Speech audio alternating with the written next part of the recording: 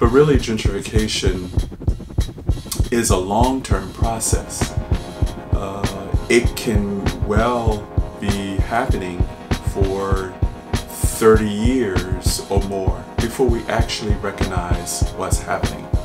Half of the people that got put out here, man, through all the little circumstances, the previous situations, they didn't even get vouchers. So they really struggling still right now from when they, you know what I'm saying, got put out there. A lot of people still struggling. So like to come and say, oh, we're gonna make it affordable and just have it on an average number, that's not really being fair. I think it's racial, I think it's religious, I think it's cultural, I think it's social, I think it's economics, I think all of those things.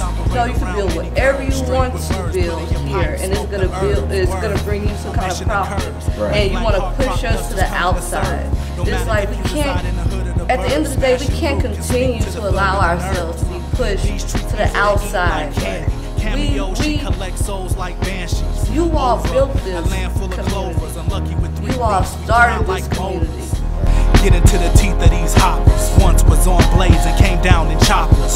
soundtracks. We con like Shaka, the you coming down.